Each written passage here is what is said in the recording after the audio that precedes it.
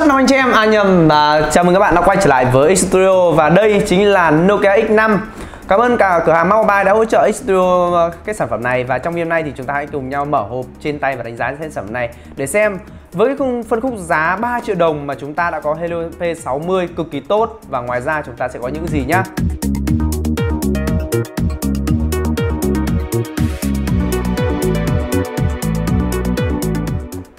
Thề luôn. Cái tay của ông này nhiều lông thế nhỉ nhiều lông hơn cả chân mình này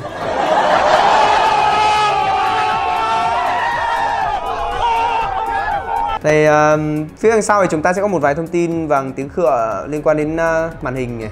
Chúng ta sẽ có camera, chúng ta có AI, Đấy, chúng ta có cả chụp ảnh uh, camera trước và camera sau luôn. E, e, cái cảm giác mà tốt luôn nó sướng lắm đây thì chúng ta sẽ có nhân vật chính mình à, đã khởi động lên rồi chúng ta sẽ có một que chọc sim với hình dạng khá là dị bên dưới thì chúng ta sẽ có tập sách hướng dẫn sử dụng. Như thường lệ thì chúng ta sẽ không có tiếng Việt vì thực tế thì sản phẩm này chưa về Việt Nam theo đợt dạng chính hãng chỉ có hàng sách tay thôi. Ở phía bên dưới chúng ta sẽ có cái cáp sạc và như thường lệ uh, những cái sản phẩm đến từ Nokia thì đều được đầu tư rất là tốt. Cái cáp này rất dày. Đó. Phía bên dưới này chúng ta sẽ có củ sạc và theo thông tin ghi ở đây thì chiếc củ sạc này chỉ có đầu ra là 5V 2A mà thôi, nó không hỗ trợ sạc nhanh.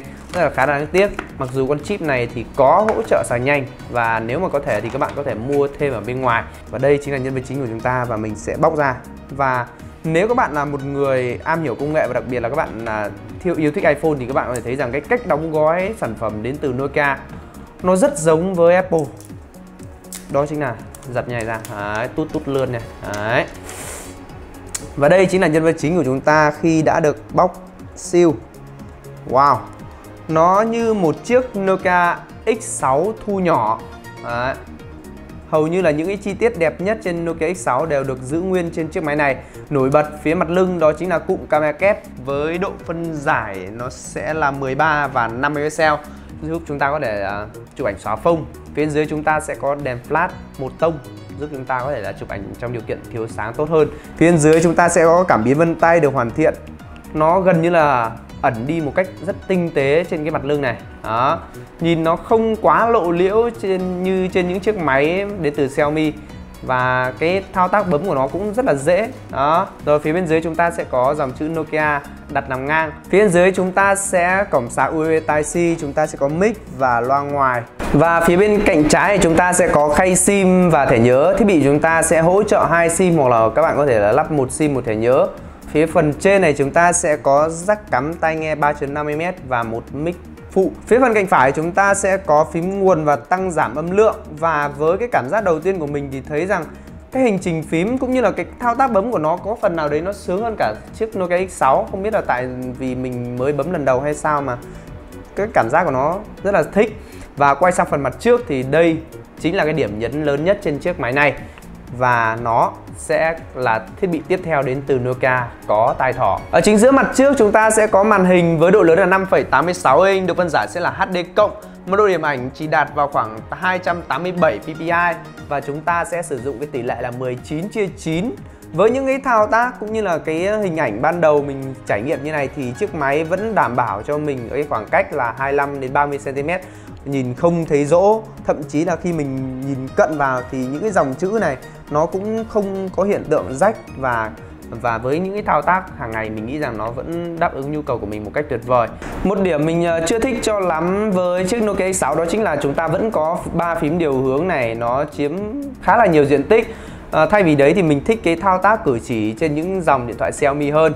Và nếu mà Android 9 mà có những cái thao tác như vậy thì thực sự nó rất là tốt. Phía bên trên này chúng ta sẽ có camera với độ phân giải là 8 megapixel có độ f trên 2.2 và chúng ta sẽ có cảm biến và loa ngoài. Nó khá là nhỏ nhắn ở đây. Tuy nhiên thì chất lượng đàm thoại của sản phẩm này thì mình hứa hẹn nó vẫn tốt như chiếc Nokia X6 được người dùng đánh giá rất cao.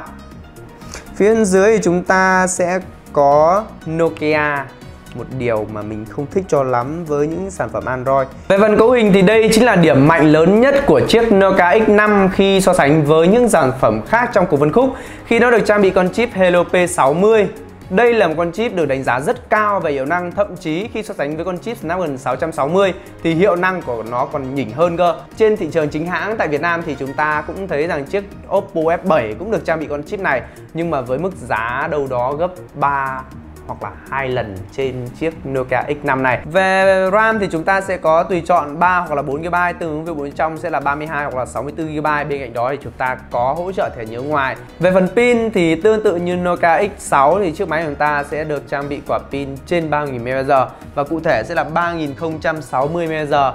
Với việc kết hợp với con chip Helio P60 cùng với màn hình chỉ dừng lại độ phân giải là HD thì chiếc máy này hứa hẹn sẽ đem đến cho người dùng chúng ta những cái trải nghiệm về pin là cực kỳ ổn và chi tiết như nào thì chúng ta sẽ gặp nhau trong à, video đánh giá chi tiết sau nhé. Ok, và vừa rồi là bài mở hộp trên tay và đánh giá nhanh chiếc Nokia X5 Với những cái nhận định ban đầu của mình thì đây là một sản phẩm có độ hoàn thiện rất cao Và cái hình thức bên ngoài của nó rất đẹp.